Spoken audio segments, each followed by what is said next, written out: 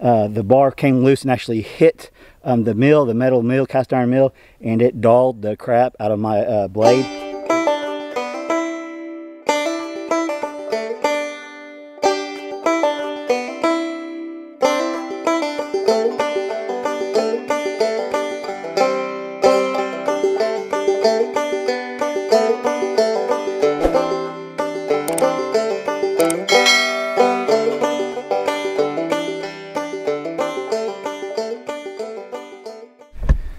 We're back out here, or I am, I'm back out here at the off-grid property, and um, I got something cool I want to show you guys today. Um, I've been watching a lot of videos on sawmills and how to cut your own wood and all that stuff. Well, oh, it's been a while back, my birthday. It's been, well, six, seven, eight months ago. Uh, my brother actually bought me a little sawmill. This is the first opportunity I've got to actually use it. So today what I'm going to show you guys is setting up it's like Amazon's cheapest sawmill. It sounds like 20 bucks. Um, and I'm gonna I'm gonna show you guys setup. I've never used a sawmill, never used this, so uh, we'll just come along for the ride. Uh, should be interesting. I've seen a lot of videos on this uh, type of uh, little sawmill, even that same one, and it seems to work really well. So I'm going to use my saw um, MS362 today, along with this um, this little sawmill. I'll show it to, I'll show it to you guys, and I'll show you getting set up. Uh, if you hear thunder in the background, there's a severe thunderstorm not too far from here. It looks like it's going to miss me on the radar, but if you see me take off in a hurry, it's because the storm's coming. Uh, it says like 60 mile an hour winds and stuff like that, so I'll have to get out of here quick. Um, if it does, we'll just uh, we'll see. So what I'm going to do, I got a 10 foot long uh, oak tree that I cut down at my entrance, and I'll show you that. This is 10 foot long right here. This other one's I think is 14. Um, I'm wanting to make a picnic table out here uh, for me and the girls and Brandy, and I thought, you know what, it'd be fun to use that little saw, uh, sawmill, chainsaw mill, to see if I can use this to make us a little picnic table. So let's get busy. I'll move this one out of the way, and we'll start cutting on this 10 footer.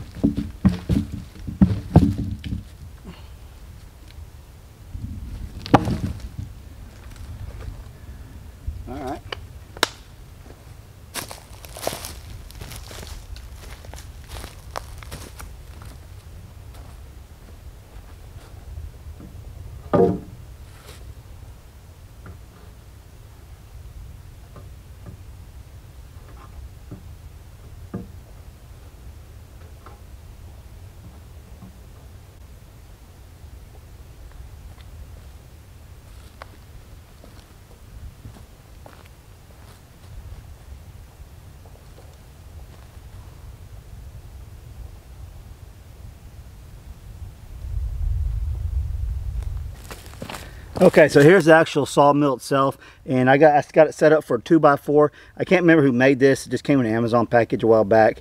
Um, if I can find a link, I'll stick down below. Um, but I've seen a lot of people use these, and it looks like they work really well. Um, I can't find my level. I thought I brought it with me, but I didn't, so we're kind of just going to have to uh, wing this as far as trying to get it um, all the same, and uh, we'll see how we'll see how it works. And um, this this log is a, li a, little bit more crooked than I thought it was, um, so we'll kind of just go with this. Could just be a test run with it. Hopefully, we can get some good cuts out of it uh, for a table, but we'll see. Check it out.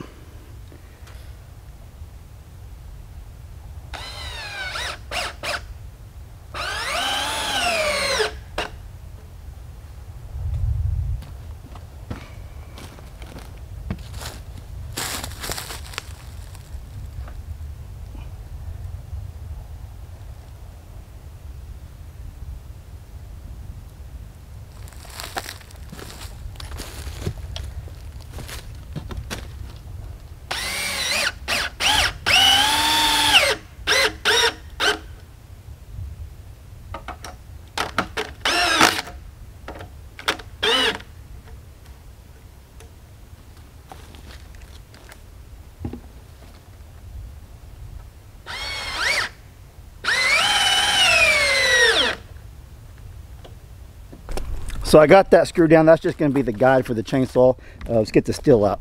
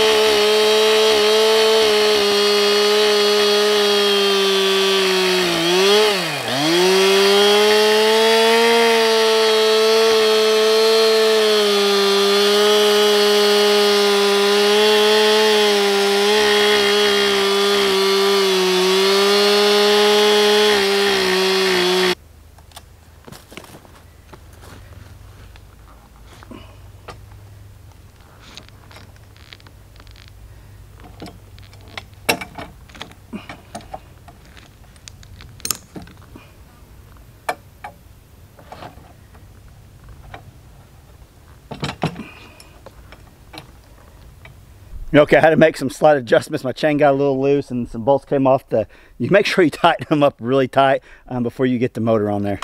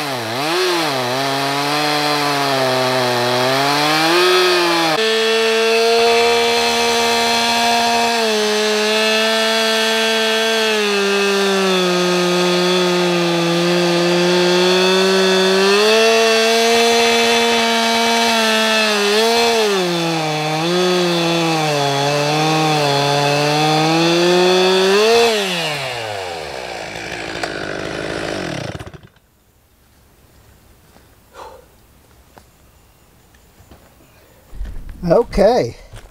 Uh, that don't look real good. it was my first one I've ever done and I made a mistake. You can see, now this I can sand down, it's pretty rough, but you can see just where there's a bunch of uh, cuts because the, the mill was just, uh, it, it moved on me a few times. Look at that. But you know what? For the first time ever, I'm all right with that. just a test run. Okay, so I made a mistake uh, whenever I was when I put this thing together. Um, it was my fault. I had it tight, and I thought I had it tight enough. Um, like I had it wrenched down. It had came loose, and the chain actually, uh, the bar came loose and actually hit um, the mill, the metal mill, cast iron mill, and it dulled the crap out of my uh, blade. And I tried to touch it up as best I can, but I just couldn't get it sharp enough with the amount of time I had. So I just went with it. Um, you could tell with the finer flakes, it's dull. Um, it was pretty much a brand new chain. And uh, I messed that one up. Lesson learned. Uh, I mean, you think it's tight, tighten it some more uh, type of deal. Um, but yeah, this little thing works. Um, uh, would I want to sit here and do this all day with that? Uh, no, not out here um, when it's 95 degrees like it is right now. This is more of a fall project for sure. Um, I want to get out and test it out and show you guys my first ever slab of wood that I cut myself. Um, and I'm, I'm going to come out. I'm going to do some more. It's getting dark on me. You guys, I don't know if you heard the thunderstorm. Uh, my buddy actually called me and said, "Hey, it's about to it's about to start uh, coming down on you up there." And I haven't felt any raindrops yet, but we'll kind of just go with it. But yeah, does not look pretty at all, um, and that's uh, my fault, um, not the not the little sawmill's fault. So we'll have to do another test uh, actually we'll cutting this log up. Um, it's definitely going to work for the table that I want, absolutely. Um, and I, am pretty excited to get some more cut um, that I can actually use. So this is, like I said, 10 foot long, and I thinking I'm thinking I need at least three of these, and I'll cut them in half, and uh, that I think that will give me plenty.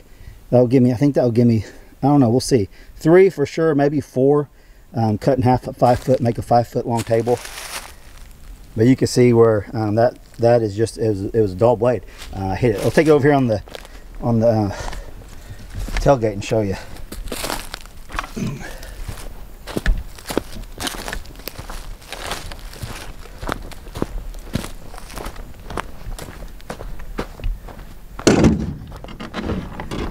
All right. So these came loose right here. Those came loose and uh, it just threw the whole thing down. I don't know if I can see it here. You can see if I can zoom in close enough. It's getting dark on me now.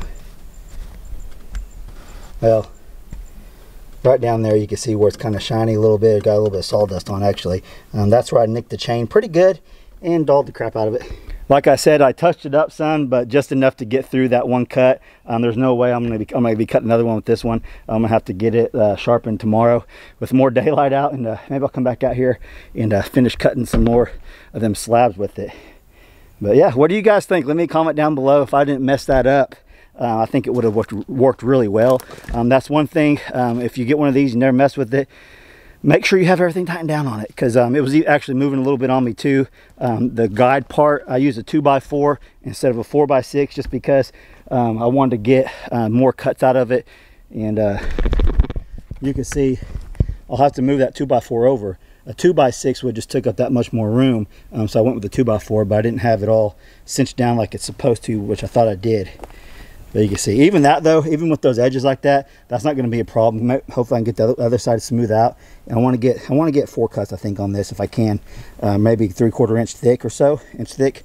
We'll just kind of go with it and see what I can get. But hey, you know what? It worked. It cut it. So pretty neat. Um, I'm, I'm, I'm, happy with it. 20 bucks. Thanks a lot uh, from my brother. He, like you said, he got that for me a long time ago. I'm just not getting to use it. And uh, kind of cool. I see a lot of people using that similar one. So, all right, yeah, that's all I got for you guys today. Hope you guys like today's uh, quick video of me milling up my first piece of uh, lumber. Like I said, I want to do a, I want to do a, a table out here, and I'm wanting to maybe use this other one for the legs. We'll see. I actually got a pretty good sized pine tree up there that I cut down. I might be able to use that for the legs. We'll just kind of go with it and see, throw something together that we can sit on out here um, at the off-grid property. So hope you guys like today's video. Um, I want to do some more of this kind of stuff eventually I want to get a, a good sawmill, um, one that you don't have to work so hard at. That's that's work. That's work. I got a good sweat going, and uh, I'm happy with it though. So.